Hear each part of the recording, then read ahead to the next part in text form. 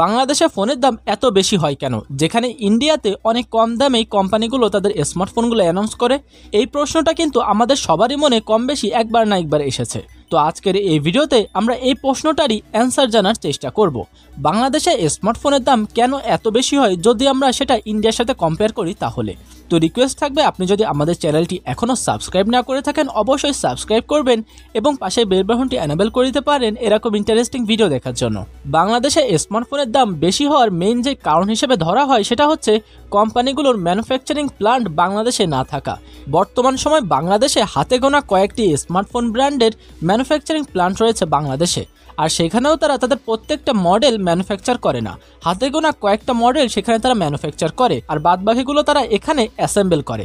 কিন্তু আপনি ইন্ডিয়ার কথা ধরলে সেখানে কিন্তু রুট লেভেল থেকে শুরু করে একদম হাই লেভেলের ম্যানুফ্যাকচারিং প্ল্যান্ট রয়েছে প্রত্যেকটা স্মার্টফোন ব্র্যান্ডের।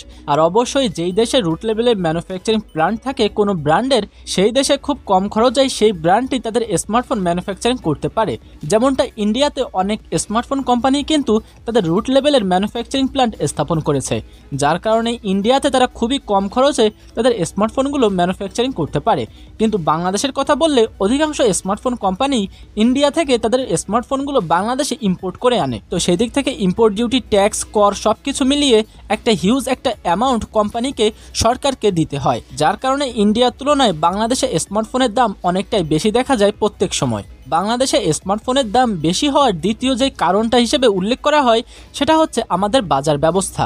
আমাদের বাজার ব্যবস্থা কিন্তু শুধুমাত্র অফলাইন নির্ভর। কিন্তু ইন্ডিয়াতে অনলাইন এবং অফলাইন দুটি মার্কেটে কিন্তু যথেষ্ট পরিমাণে জনপ্রিয় মার্কেট।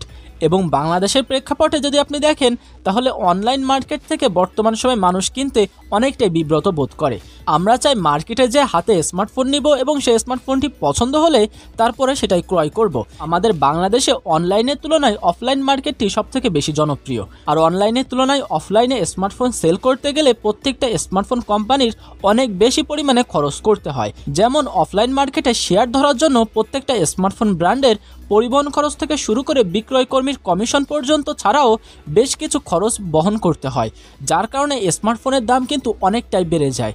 যেখানে অনলাইন মার্কেটে কোনো প্রকার পরিবহন খরচ বা কোনো প্রকার বিক্রয় কর্মীর কমিশন লাগে না। তো সেক্ষেত্রে স্মার্টফোনের দাম অনেকটাই কম রাখা সম্ভব হয়, যার কারণে ইন্ডিয়াতে বিশেষ করে অনলাইন প্ল্যাটফর্মগুলোতে অনেক কম প্রাইসে স্মার্টফোন পাওয়া যায়। আর আপনি যদি বাংলাদেশের অফলাইন এবং অনলাইন মার্কেট কম্পেয়ার করে দেখেন, তাহলে এখানেও কিন্তু অনলাইন মার্কেটে অনেক কম প্রাইসে স্মার্টফোন পাওয়া সম্ভব। যেমন রিয়েলমি জিটি মাস্টার এডিশন স্মার্টফোনটির অফিসিয়াল প্রাইস হচ্ছে চৌত্রিশ হাজার টাকা।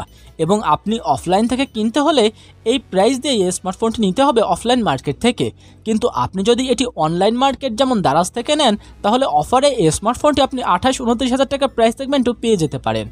তো এখান থেকে বুঝতে পারছেন অফলাইন স্মার্টফোন এবং অনলাইন স্মার্টফোন মার্কেটের কতটা ডিফারেন্স থাকে। এছাড়াও বাংলাদেশে স্মার্টফোনের দাম বেশি হওয়ার তৃতীয় যে কারণ হিসেবে উল্লেখ করা হয়, সেটা হচ্ছে বিক্রয়ের পরিমাণ। যেহেতু আমাদের দেশে বর্তমান সময় স্মার্টফোন শুধুমাত্র শহরের মানুষজনই ব্যবহার করে, আর বাংলাদেশের অনেক মানুষই কিন্তু এখনও পর্যন্ত গ্রামে বসবাস করে, যারা স্মার্টফোন খুব একটা বেশি ব্যবহার করে না, যার কারণে কোম্পানিগুলো চেষ্টা করে বাংলাদেশে কম বিক্রয়ের মাধ্যমে অধিক মুনাফা অর্জন করার। কিন্তু ইন্ডিয়ার কথা বললে সেখানে এর ডেফিনেশনটা অনেকটাই বদলে যাবে, কারণ ইন্ডিয়াতে পপুলেশনের পরিমাণ অনেক বেশি, যার কারণে সেখানে প্রতিনিয়তই কিন্তু মানুষ স্মার্টফোন ক্রয় করে নতুন নতুন, আর যার জন্য কোম্পানিগুলো সেখানে কম প্রফিট রেঞ্জেও অধিক পরিমাণে বিক্রি করার চেষ্টা করে, যাতে কোয়ান্টিটি দিয়ে প্রফিটের পরিমাণ তারা বাড়াতে পারে। কিন্তু বাংলাদেশের প্রেক্ষাপটে তারা কোয়ান্টিটি কমিয়ে এনে প্রফিটের পরিমাণ বাড়ায়, যাতে তারা কম বিক্রি করে অধিক মুনাফা অর্জন করতে পারে। এছাড়াও ইন্ডিয়ার তুলনায় বাংলাদেশে স্মার্টফোনের দাম বেশি হওয়ার আরও বেশ কিছু কারণ রয়েছে।